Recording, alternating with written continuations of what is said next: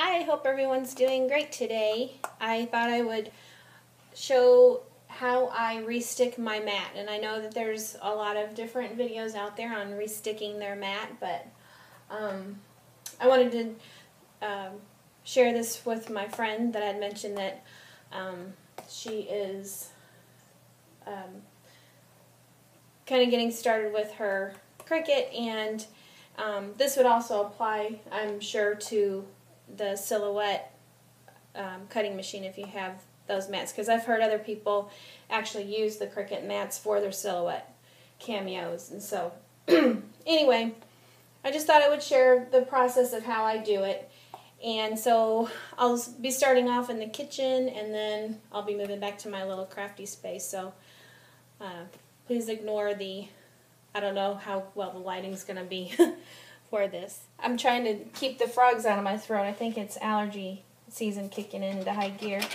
Um, just what I always do is before I clean my mat, I scrape it first and get any debris off. And I already did this step, so um, we could avoid the loud sound you having to listen to that.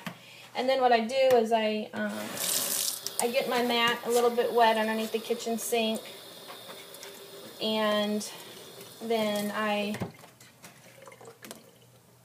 I think you can pretty much use any type of a dish soap, but what I do is um, if I have the regular Dawn on hand, I'll just go ahead and use this, and I'm almost out. turn that upside down. And I do have the this dish soap, but I just I try to get it real thick on here, the dish soap, and just um, work it in on the mat with my fingers, good old fingers. and um, I don't know if that's quite thick enough. Usually I get it pretty, it's almost white from the soap. I get it really good and saturated with the soap. That's better. I can I can feel the goo under my fingertips. so I just kind of work that in, and then after I get that worked in a little bit, I let it set for a few minutes. I'm not really sure how long exactly you have to let it sit, but um, on my time, I'll watch it on my stove over here. I have a timer on it too, but I don't think I really need to do that. I'll just um, let that sit for a few minutes, and then I will come back. So just leave that there. I'm going to rinse my hand off. Okay, so Miss Antsy Pantsy that I am, I set my timer for 10 minutes after I applied that and when I left off with you. I set my timer for 10 minutes and it, I don't know if it ran for a minute or two and I had to go ahead and start scraping. So it didn't sit on there for 10 minutes and the timer may go off while I'm speaking to you, I don't know. But anyway, um, I went ahead and scraped this first half of the mat, and it scrapes real easy. This is just an old um, Tim uh, Ranger scraper that I picked up at a scrapbook store a long time ago.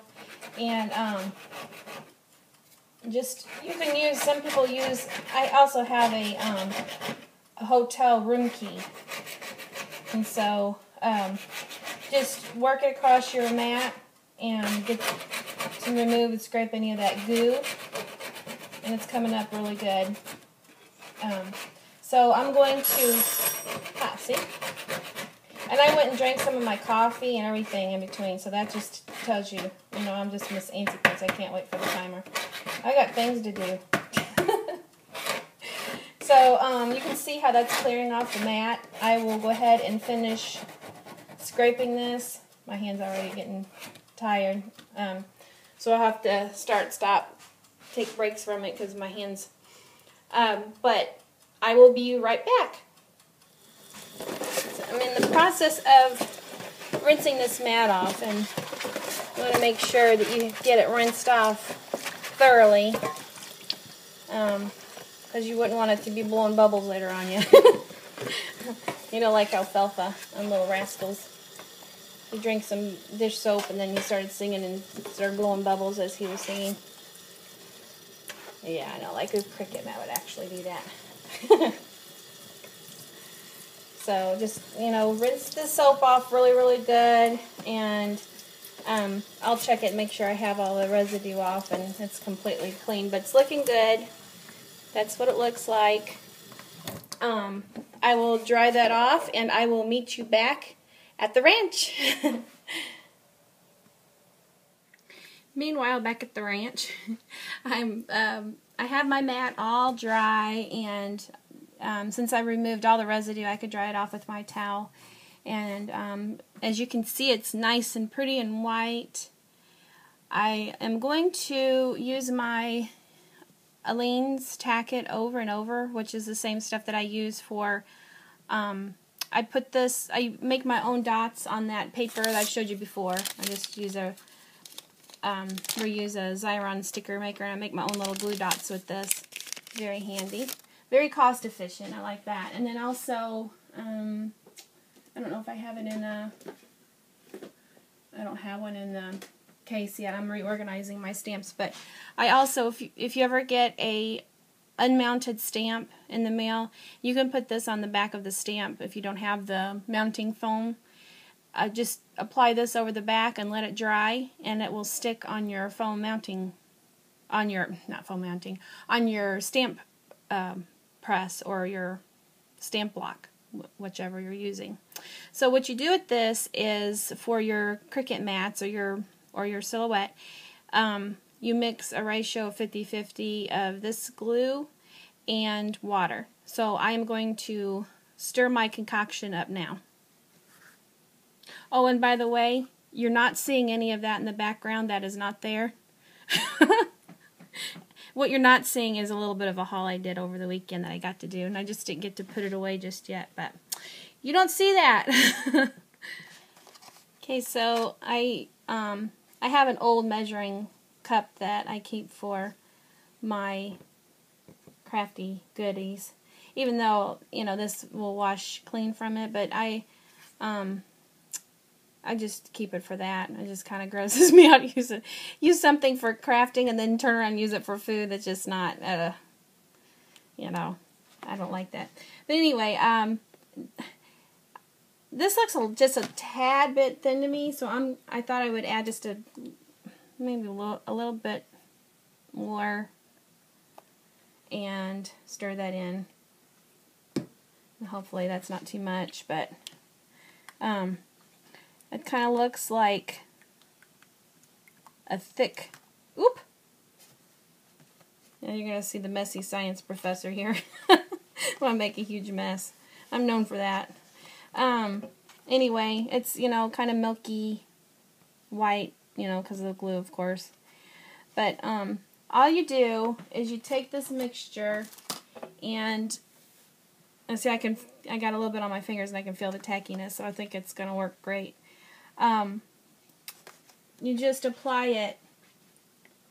What I do is I apply it up and down and um, and then back across. So I'm going to go ahead and apply this. Let me see.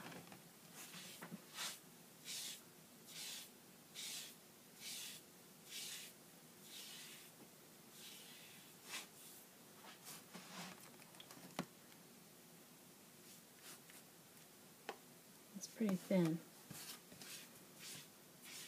Okay, so I hope you guys aren't laughing at me because I'm probably making a fool of myself.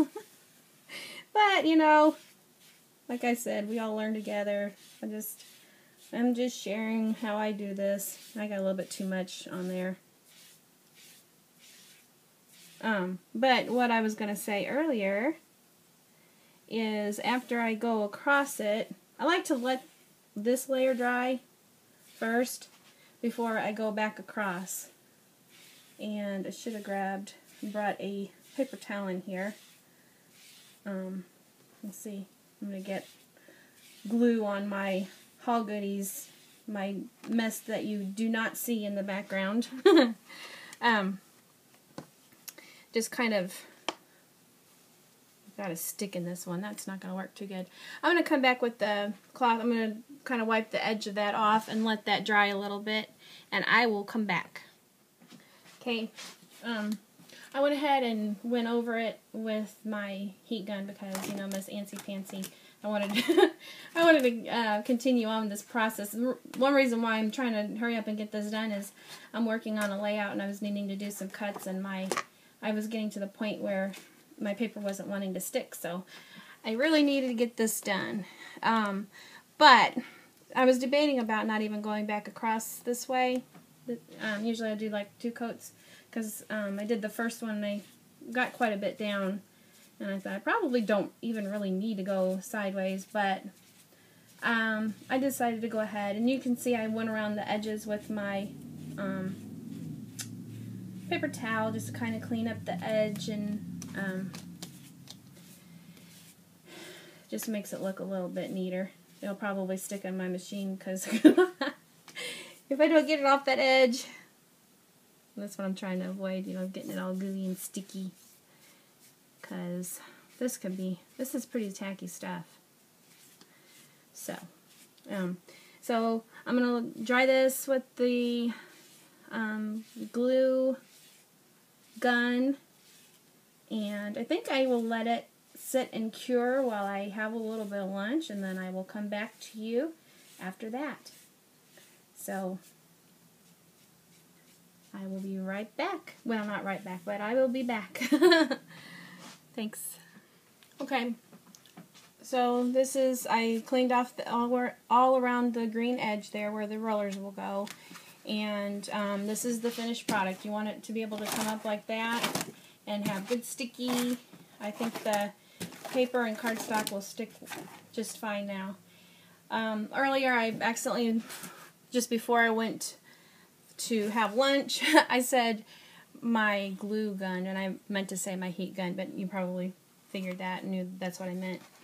So anyway, this is my um, mat that is re-sticky.